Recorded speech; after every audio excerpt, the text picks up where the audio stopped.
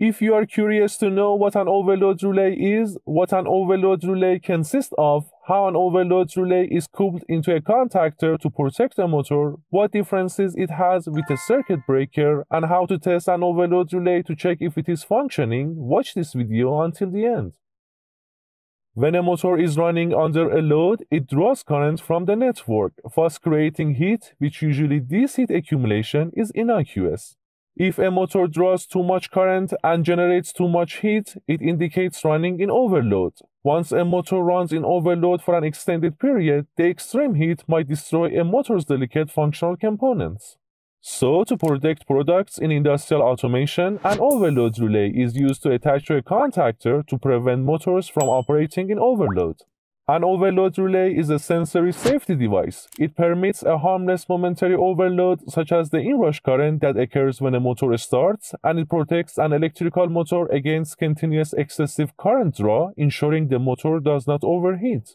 But how does it provide protection? Once the overload relay detects an ongoing overload condition for a considerable time, it will trip and send feedback to the contactor, so the contactor breaks up the current flow and stops the motor. You may wonder what causes a motor to overload. Well, certain conditions result in overloading, such as when a rotor gets jammed and there is a mechanical obstruction, when the process of aligning shafts with each other is not properly executed, when one of the phases of a three-phase AC system has failed, when a motor is being started and stopped frequently during an event, when the ambient temperature is high and there is inadequate ventilation, when a motor is undersized to handle a load which causes additional stress on a motor, and when bearings responsible for supporting the shaft inside a motor have been damaged. Now let us talk about components that are common in overload relays. First, there is the adjustable current setting. By using this dial, you can specify the amount of current the motor must draw to be considered overloaded. In other words, the motor's rated FLA or full load amps can be set here. Secondly, there are two built-in auxiliary contacts. A pair numbered 95 to 96 is normally closed, whereas a pair numbered 97 to 98 is normally open. Once an overload condition happens, the internal NC and NO switches become open and closed respectively. Next, there is the reset button. This design allows you to toggle between manual and automatic reset modes and functions as the reset button. Imagine a tripped overload relay in which its reset mode is automatic. After an overloading problem has been handled, the overload relay will reset itself automatically. This time, consider the overload relay is tripped while its reset mode was set to manual. When an overloading issue is resolved, the overload needs manual confirmation to be reset by hitting the reset button. The test trip button also exists on the face of the overload relay. It may be utilized to simulate a trip of the overload relay to check if the overload relay is working correctly. And finally, there is a trip indicator which provides the status of the overload relay visually, meaning when an overload condition happens, this indicator turns on. To avoid confusing an overload relay with a circuit breaker, let us review their main differences quickly. Using a circuit breaker, you can protect a motor from sudden high current events caused by a short circuit. If this created heavy current keeps flowing through the circuit, it can damage the motor immediately. So in the event of a short circuit, the circuit breaker will open instantaneously and cut the power. On the other side, an overload relay protects a motor from the excessive current being drawn from the supply. This current might harm a motor by gradually deteriorating the winding insulation. So, due to the inverse trip time characteristic of an overload relay, once an overload condition occurs, the overload relay will trip after the predetermined time delay based on its trip class. Also, once an overload relay is tripped, it doesn't shut off the power itself. An overload relay sends feedback to the contactor, so the contactor is the one that interrupts the electricity flow.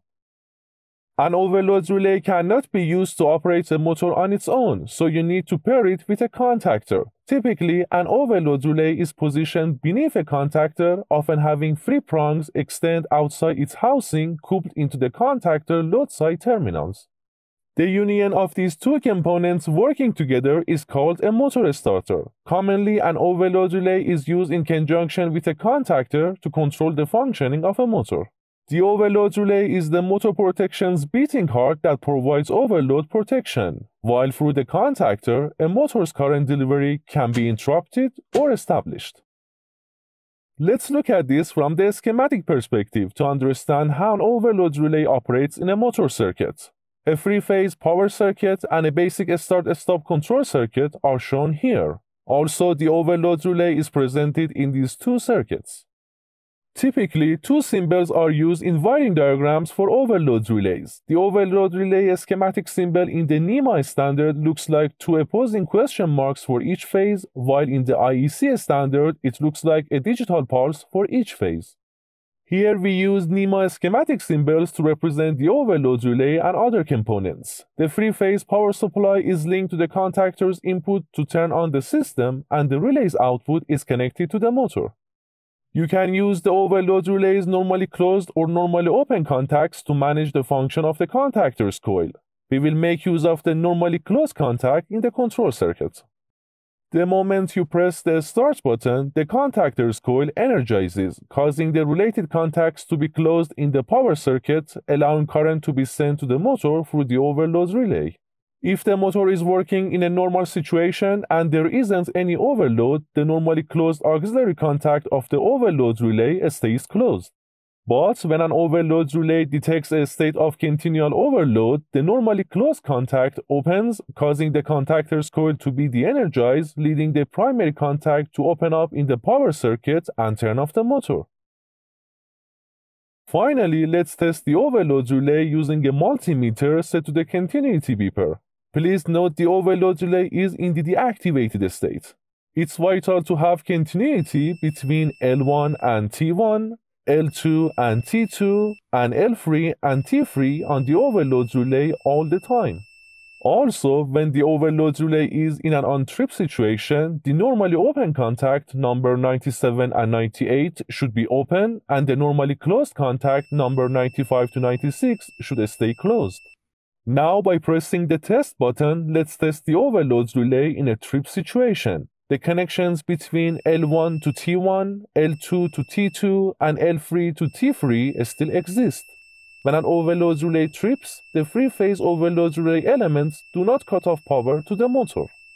When you place the multimeter probes to the auxiliary normally closed contact, you figure it is open. And when you place the probes to the auxiliary normally open contact, you find it closed, meaning it has continuity. Stay tuned for the upcoming video where overload relay types and overload relay trip class will be explained. Don't forget to share your opinion about this video in the comment section. Also, please encourage us by liking the video, subscribing to our channel, and pressing the bell icon so you can get notifications whenever we publish new out of the oven videos. This way you keep motivating us to produce more informative videos.